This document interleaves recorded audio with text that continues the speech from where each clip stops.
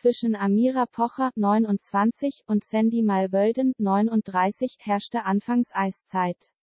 Das Model und der Comedian Oliver Pocher, 44, gingen etwa vier Jahre gemeinsam durchs Leben, bevor sie im Jahr 2013 ihr Eheaus publik machten. Gemeinsam haben die beiden drei Kinder. Seit 2016 ist der TV-Star nun mit seiner Amira zusammen. Mit der Ex ihres Mannes versteht sich die gebürtige Österreicherin super, doch das war nicht immer so. Olli verriet jetzt, dass Amira und Sandy sich anfangs gar nicht mochten. Im Punkt 12 Interview mit Katja Burkhardt, 57, sprach der 44-Jährige nun ganz offen über seine Patchwork-Familie. Es war am Anfang schon schwierig, gab Olli ehrlich zu.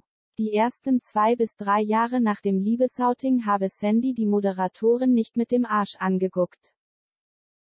Doch nach einiger Zeit habe sich das geändert, und heute haben die beiden Mütter ein gutes Verhältnis zueinander. Im Interview mit RTL ließ Sandy ebenfalls durchblicken, wie gut sie sich mit Amira versteht. Sie sei total glücklich darüber, dass ihre Patchwork-Familie so gut funktioniert. Ich habe da wirklich sehr, sehr viel auch Amira zu verdanken. Sie ist einfach super, schwärmte die ehemalige Let's Dance-Teilnehmerin.